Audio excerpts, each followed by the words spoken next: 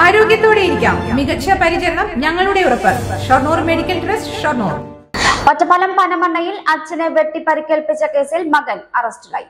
മുപ്പത് വയസ്സുകാരൻ പനമണ്ണ സൗത്ത് ചേരിക്കല്ലിരുവൻ കാർത്തിക്കാണ് വധശ്രമ കേസിൽ പിടിയിലായത്.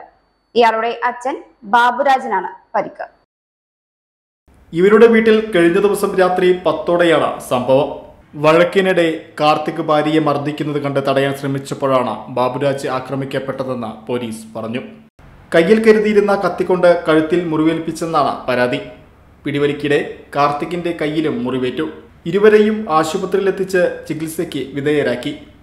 അറസ്റ്റിലായ കാർത്തികിനെ കോടതി റിമാൻഡ് ചെയ്തു. പോലീസ് ഇൻസ്പെക്ടർ ടി പി ഫർഷാദിന്റെ നേതൃത്വത്തിലാണ് അന്വേഷണം.